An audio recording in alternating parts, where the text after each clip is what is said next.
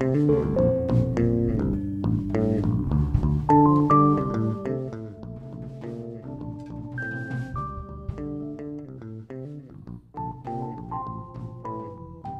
afternoon. Um, today we're going to be tying another new pattern. It's in our series of uh, uh, patterns for beginner fly tyers. And uh, our pattern that we've selected today is the gold-ribbed hare's ear. Now, the gold-ribbed hare's ear has been around for probably close to a century. Its exact origin is not, not clearly defined, but it appears that it was uh, developed um, as a sequel to the gold-ribbed hare's ear wet fly, um, which would have been developed uh, probably uh, in the 1800s. Now, the gold-ribbed hare's ear does not particularly represent any uh, particular species of mayfly. And so we refer to it as a generic pattern. And we also refer to it as a searching pattern. In other words, a searching pattern is a pattern which is highly successful in many places. And so it's a good way of, of, identifying that there are fish in a particular part of the stream or river where you're fishing. And so if you have success with something like the, this type of searching pattern, you might continue using that, or you might refine your, your choice of flies and go uh, with something that's close to the gold-ribbed hare's ear and see whether you're catching more fish with that than you did with your original searching pattern. Now, the gold-ribbed hare's ear has the, the basic structure of most all mayfly nymphs, and that is it has a tail, it has an abdomen, it has a thorax, and it'll have a head. And uh, in this particular case, we are going to represent those various parts of this, uh, this particular nymph. The, the, pattern that I'm going to teach in this session is the basic gold-ribbed hare's ear. And we're going to do two variations of that. If you were to look on the internet for um, various ways to tie the gold-ribbed hare's ear, you will see that some fly tyers will add other particular types of accessories, as I refer to them, to the basic pattern. Some will put on uh, uh, rubber legs. Uh, some will put on a gold a, a bead in the front. Um, others will put in what we call a hot spot, which is something that probably triggers the fish's response to the fly. Um, I will be showing you a couple of those variations as I as I go on here. Um, the, but I, I, first of all want to go over the materials that will be used and that you will have in, in your package.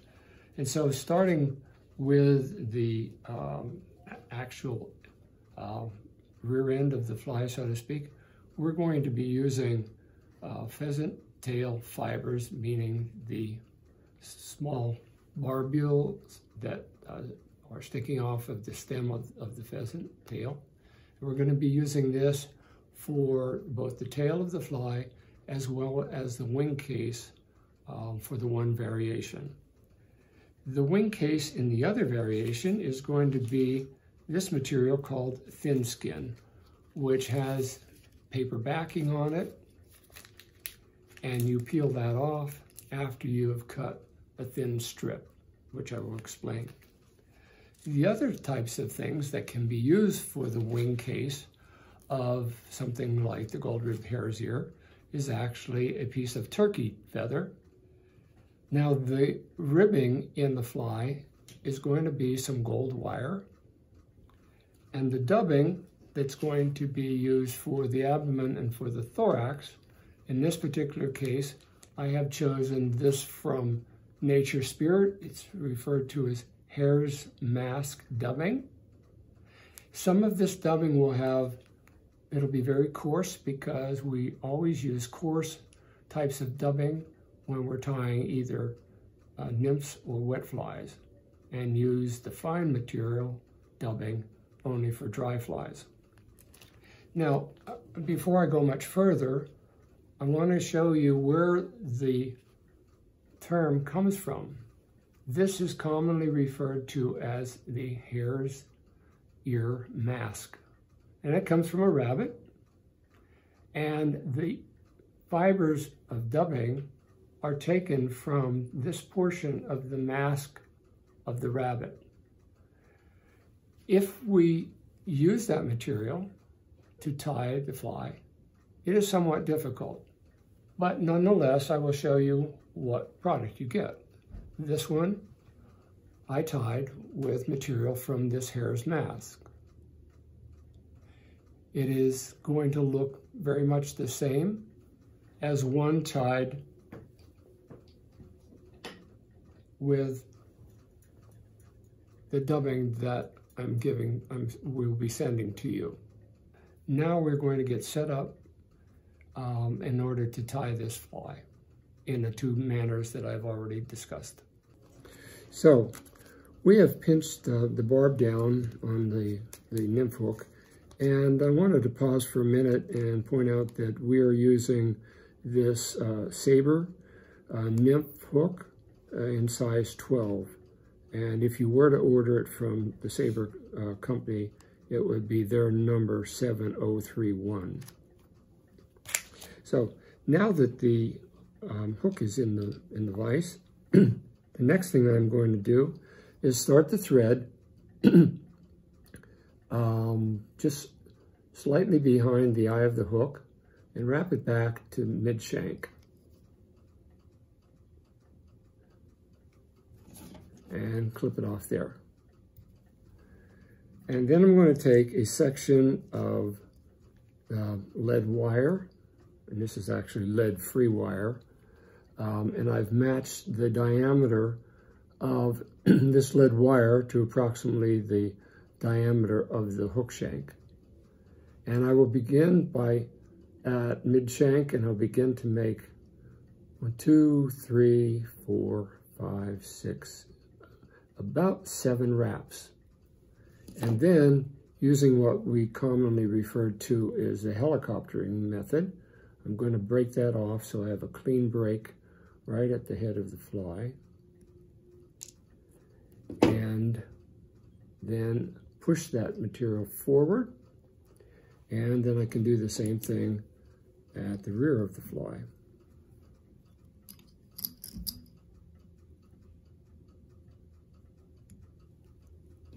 Okay. Now, immediately behind this wire, I'm going to create a thread bump. And that thread bump is basically reinforcing the lead wire and supporting it from sliding backwards. But just to be, and it's also tapering the abdomen as we will be developing it. But I'm going to make a few wraps forward over the lead wire. And you see I have a small piece there that I need to take out.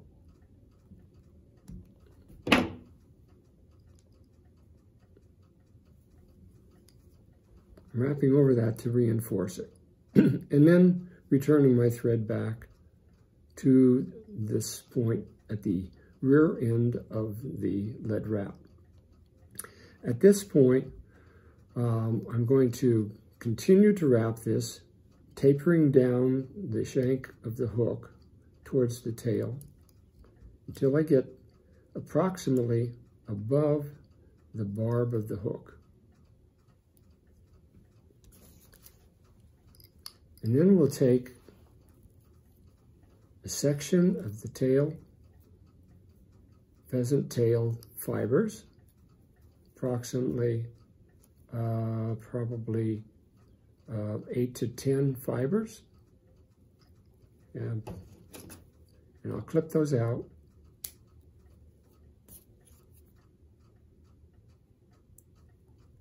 Line them up. and lay them right on top of the hook to make to measure about just slightly more than a quarter of an inch beyond where the thread is hanging. I'll hold that in place using a pinch wrap to secure it. And it should end up right on top of the, the hook. And then I will wrap this thread forward just slightly going beyond where the um, the lead starts. And the next thing I'm going to do is take a section of gold wire and of course those of you who are signing up for this class will receive all of these materials um, very shortly in the mail. I lay the gold wire on the side of the hook opposite from myself. And I begin to wrap over it. And I wrap back towards the bend of the hook, holding the wire on the side opposite from where I am sitting until I get to the point where I originally sec secured in the pheasant tail fibers. And I stop at that point. I advance the thread maybe one or two wraps forward, and I'll explain why in just a second. Now, the material that we're going to use for dubbing today, I've already mentioned. It's the uh, Ear Mask Dubbing from Nature Spirit. And there are a number of other companies that supply this kind of thing in different colors, and I will show a couple of those. Hook and Hackle, for example, um, has a somewhat darker version of this hare's ear material. And a company named uh, Jack's Hare's Ear Blend uh, makes it in a, a lighter color. If we're to look at the variations in colors of these different dubbings, you might get an understanding of why some of these patterns they'll refer to as a light hare's ear, uh, gold-ribbed hare's ear, or dark gold-ribbed hare's ear nymph. So it's your choice, and I would say that uh, most likely you should try to match the color of the dubbing of your nymph with the color of the bottom of the stream because um, these, uh, these insects in a nymph form uh, basically will uh, be occurring in the same uh, color range as the bottom of the stream because it, it does uh, um, allow them to hide away from their predators.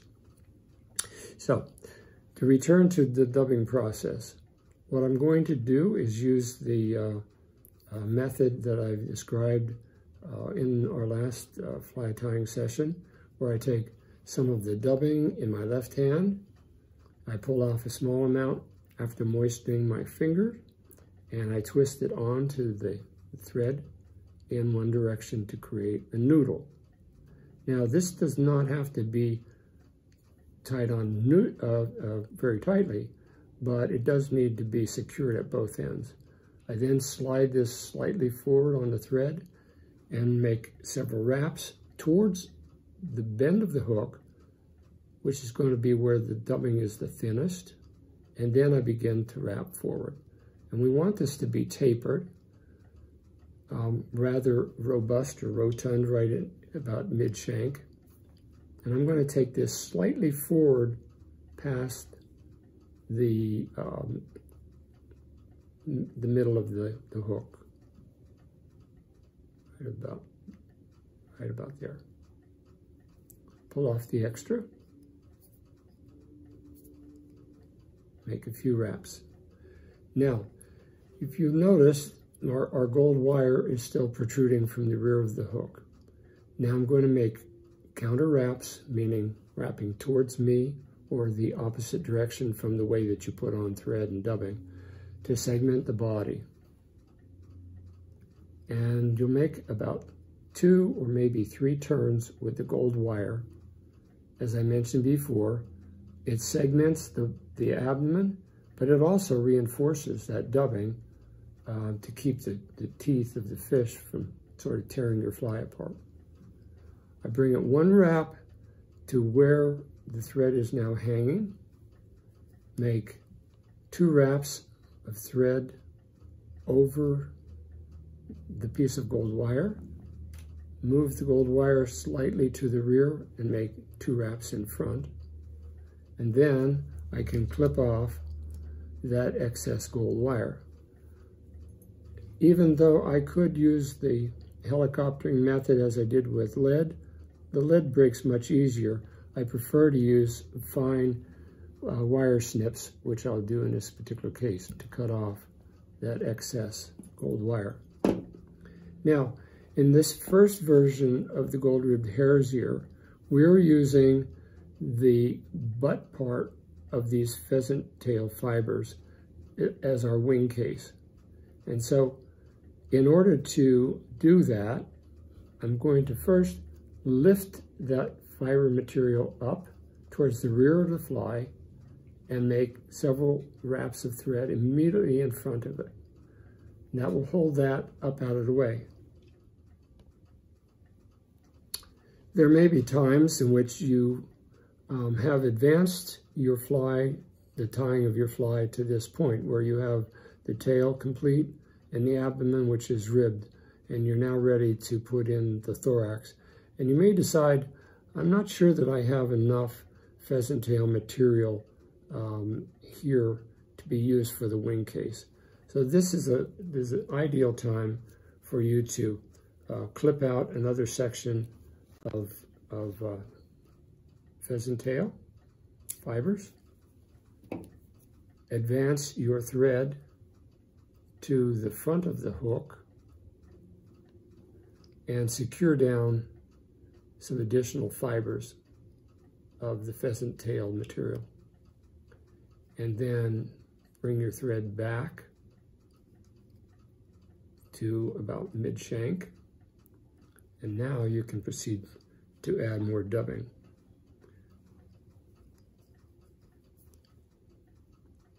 Again, I'm going to dub the thread. And note, note once more, I am adding that dubbing in one direction as I spin it onto the thread. And now I begin to build up that abdomen so that it is, uh, I'm sorry, the thorax so that it is much bulkier than the abdomen.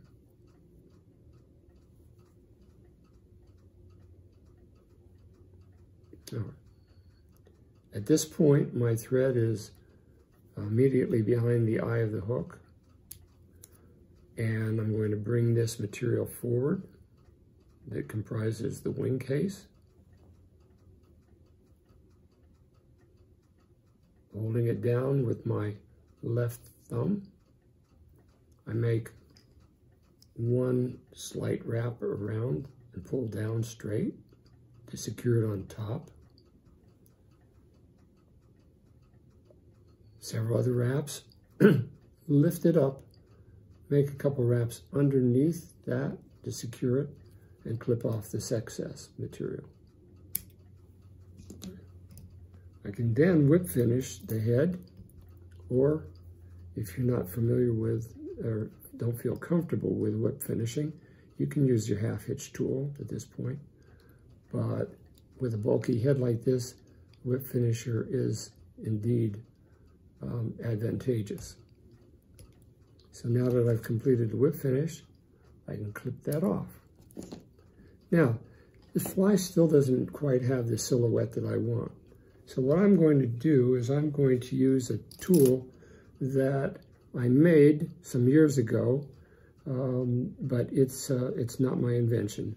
And basically this is the barrel from a ballpoint pen, which I flattened with a pair of pliers, and on one end I glued some Velcro. And on the other end, I glued a piece of felt. If I'm going to um, expand the fibers on a nymph such as the gold-ribbed hare's ear, I'm going to use the end that has the Velcro on because it's just the right amount of sort of brush capability to be able to tease out some of those fibers from the deer's, uh, from the gold-ribbed from the hare's ear uh, itself.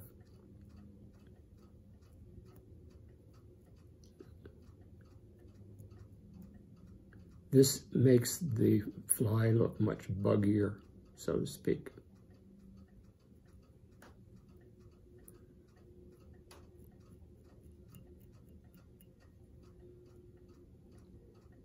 Now there are several ways to augment the wing case, although this is realistic And one of those options uh, is you'll notice I have not used any head cement.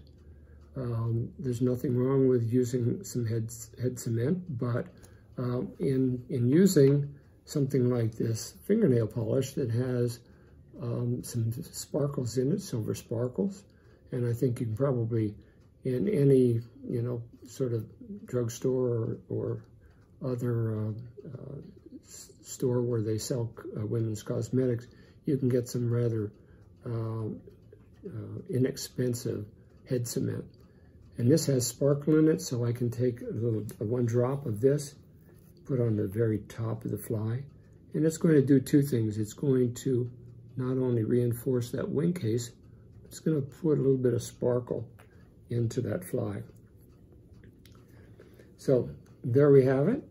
Um, the one version that we're going to tie today of the gold-ribbed hare's ear. And I'll put it in my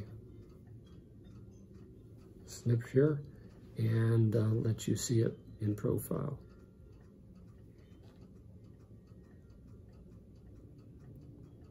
Okay. Now, as I mentioned earlier, gold, uh, the uh, hare's ear material comes in a variety of materials. So I have tied that fly um, in some, some of the different colors of dubbing. Um, here's the same fly with the darker uh, dubbing, tied the same way. And um, here is one tied with basically that darker material, but I put a, a bead head on this, um, as well as this has the different type of wing case in it. So my point here is that um, there are a number of different materials that you can use to, to improvise um, as long as you follow the same sequence and then your fly is going to basically turn out to be a gold-ribbed hare's ear, but it's going to be uh, your modification or it's going to be consistent with some of the standard patterns. So we will now uh, proceed to using some of the other materials to tie uh, another one of these uh, gold-ribbed hare's ears. For this second fly, this second gold-ribbed hare's ear, we're basically going to be using the same materials with one exception, and that is instead of having the wing case made out of the pheasant tail, it's going to be made out of a material called thin skin, which I described a little bit earlier. This comes in a sheet, it comes in various colors, and this particular color that I've chosen um, is referred to as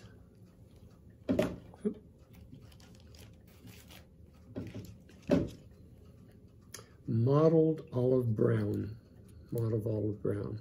And this will be the material that those of you who've signed up for this class will receive uh, enough material for you to tie uh, perhaps uh, two flies using this as your um, wing casing. so I will again put the, uh, the hook in the in the vise. I've already pinched down the, the uh, barb on it. I'm going to start the thread again immediately behind the eye of the hook. Wrap it back to about mid-shank or just a little beyond. clip off the excess thread and wrap the lead wire around the shank of the hook as, it, as I did with the first fly, starting right where the thread is hanging. Wrap it forward until you're approximately uh, one wrap behind the eye of the hook. Use your pliers if you care not to uh, dull, not dull your good tying scissors, but you can use pliers to just helicopter that off. Push it forward so it compacts it, and then do the same at the rear, which I could either helicopter or clip off with my clippers. Build up a foundation right behind that as you did in the first fly. And then a few wraps over the lead wire to again hold it in place.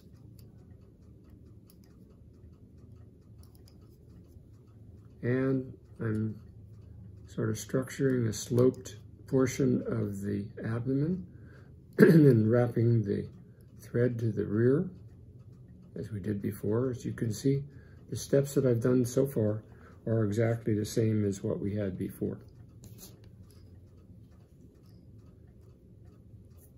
I'm going to take another section of the pheasant tail, which will be used for the tail, but not for the wing case. Clip it out.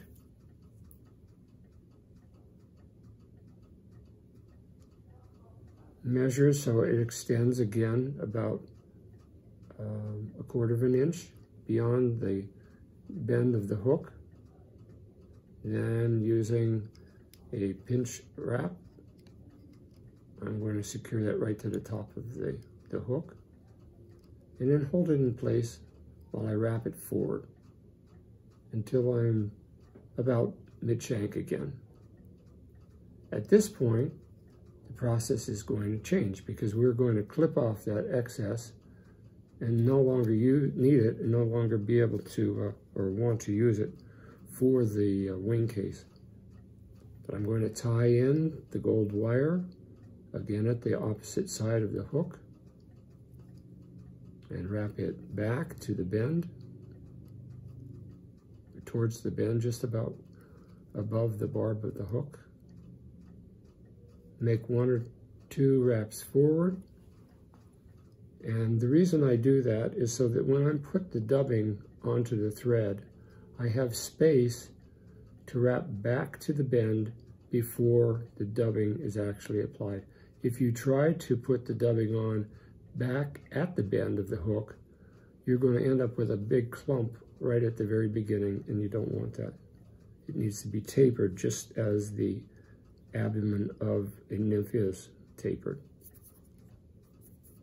So again, I take um, a small portion of the hare's ear dubbing, twist it onto the thread,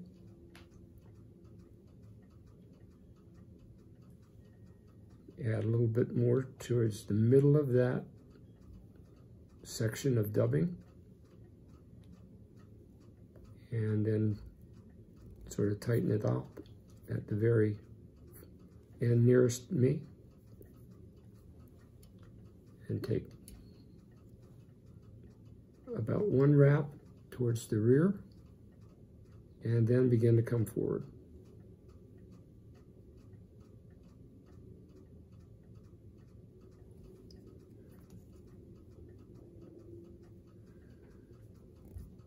I'm going to apply a little bit more dubbing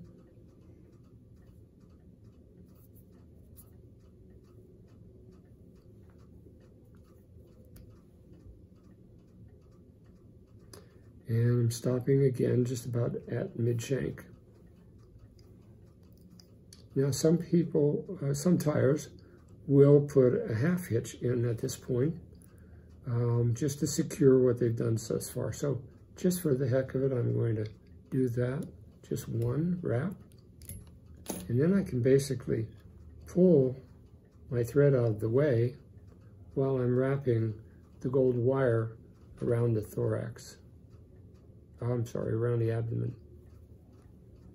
So I'm going to make approximately three turns. One, two, three turns of wire. Then I'll make two wraps with the thread behind that.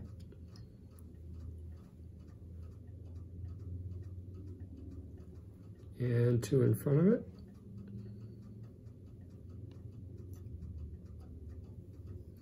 And then clip off that excess gold wire.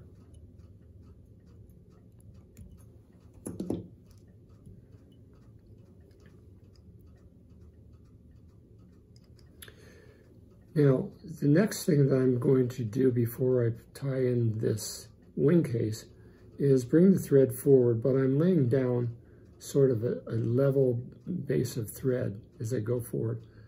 And I stop not quite behind the eye, in order to put in my piece of wing casing.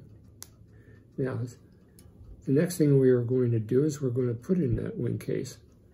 I've selected this piece that is approximately maybe a little bit more than an eighth of an inch wide, just slightly wider than the shank of the hook as it is dubbed at this point. This material has a white backing on it that needs to be peeled away. So I'm going to use my thumbnail or something sharp to kind of break that material, the backing away from it. And as you'll be able to see here, um, I have begun to remove that backing material. So I can peel that off.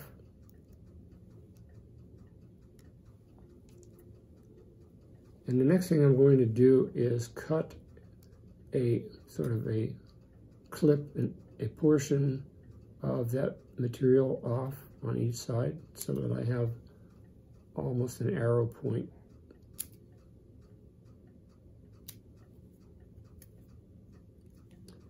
Turn it upside down so that the shiny side is down at this point, this being the shiny side, this being the dull side. So the shiny side is down. I hold it in place with my thumb and begin to make my thread wraps over that material to secure it right on the very top of the hook. And I wrap this back almost to the point where the gold wire stopped, or about halfway or mid-shank. Can lift this forward a little bit so it stands up. And now I'm going to dub the thread again to build up the thorax.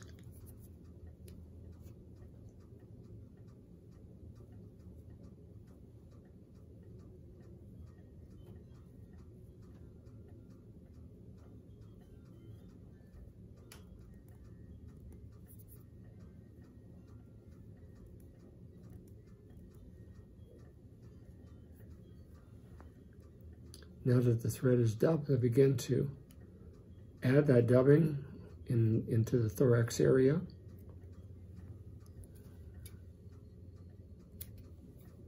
And I need, I think that I need just a little bit more.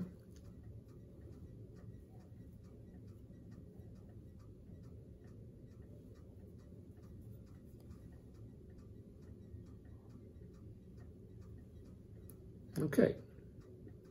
Now I push this wing case forward as I did before with the pheasant tail, holding it down with my thumb. Make one wrap around and begin to tighten it down. And then several other wraps. So you should get sort of a triangular shaped wing case there. Once I've made several wraps on top of the the uh, thin skin, I can lift this up, exposing the eye of the hook, make a few wraps in front of that, and clip off this excess material.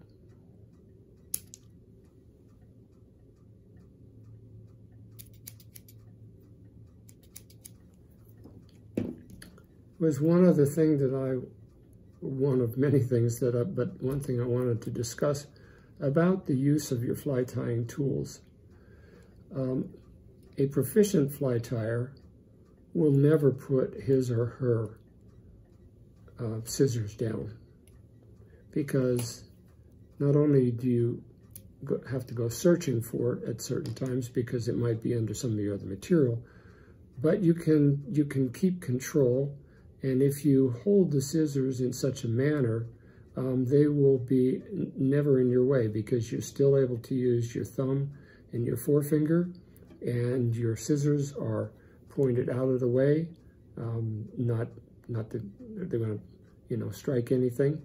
Um, but it is, is much more efficient to get used to holding your scissors as I have here. Uh, it's that easy to switch back and forth. And you'll be surprised at how much you can hold in addition in that hand. Um, and so uh, it's much easier than for me to be putting it down, picking it up, putting it down, picking it up as I, as I tie the fly. So I just wanted to stop at that point and, and add that little piece of advice. All right, as you can see, the fly is almost done. We have the new thin skin wing case, and now the only thing that's left to do would be for me to brush out the thorax to create that buggy appearance. Uh, one of the features uh, that you should always be thinking about when you're tying flies is whether um, it looks realistic or not. And so, and my, I guess I cut the uh, wing case a little too close and basically uh, destroyed my wing case. Okay, so as you just saw, in creating the wing case, I cut the wing case off a little too short and it came unraveled and I had already cut my tying thread. But all is not lost. Um, you'll probably have this happen to you uh, time uh, from time to time. Uh, I know I do, despite the fact that I've been tying many years, um, I still have these little errors. But there's a way of fixing this. You, you might feel disgusted that you have to start all over. But I'm going to uh, choose this as a moment, uh, sort of a teaching moment, and show you what I would do to reconstruct this fly. So I am at the point where I've removed that old wing case and I still have some dubbing left, but I don't have any thread. So the first thing I'm going to do is I'm going to take off that dubbing that I had already applied. And some of this is going to require a little bit of cutting, but the rest of the fly is still intact. And I'm going to start my thread again onto the hook as you did at the very beginning of tying this fly. And then I will take another piece of, of uh, thin skin material that's going to be used for the wing case, cut a point on that material,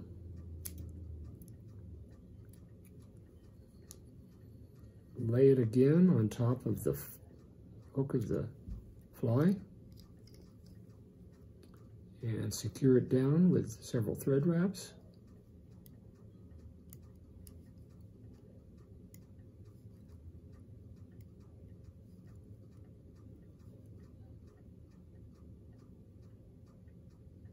And now I've reestablished my wing case. And I will take some more dubbing and dub the thread for the abdomen.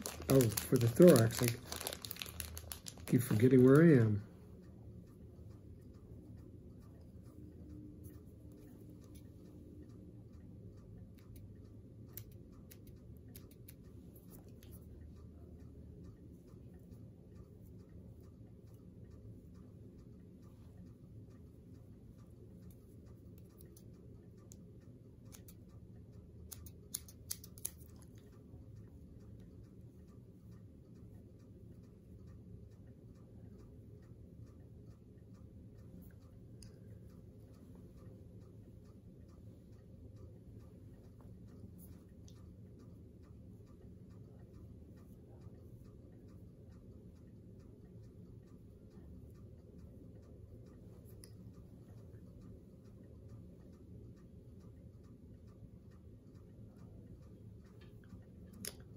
And as I did before, once I have that thorax dubbed, push my wing case forward and tie it down. Several thread wraps. Lift it up, lift up the wing case. And make a few wraps in front of it. And this time, before I cut my thread, I'm going to clip off that excess wing case.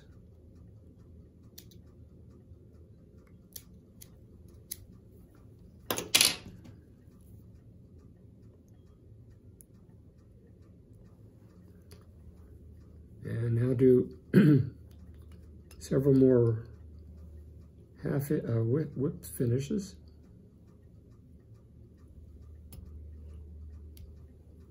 Now I can cut my thread. So you see, a fly can always be recovered um, no matter what stage you're at, without having to tear it all apart, unless you really want to start all over again. And now I'm going to tease out that material as I did before to make it look buggy. And as I was saying before, um, I guess one of my mottos is the buggier the better in terms of realism because if you were to look at a mayfly nymph uh, in its nymphal stage, uh, it's not a thing of beauty in terms of perfect symmetry.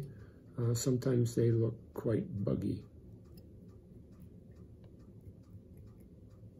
A little touch up right there.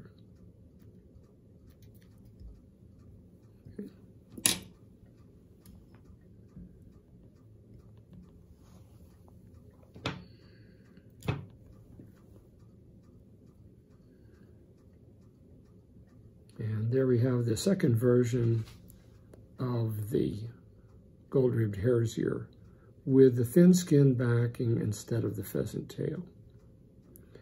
Well, I hope that uh, you all enjoy tying this pattern and uh, try some several variations if you have other fly tying materials um, uh, at your tying bench. Um, consider putting in something uh, wings such as um, this particular um, uh, piece of uh, duck quill um, or um, another color of the uh, thin skin. Um, creativity is one of the, the greatest joys of fly tying. And so I hope that you've enjoyed what, uh, what I've covered today. And um, please, we look forward to seeing the, the product of your fly tying. It's been uh, very meaningful to us at Potomac Valley Fly Fishers to see uh, how much artistry and creativity there is amongst our members. And uh, uh we thoroughly enjoy doing these video series. Thank you.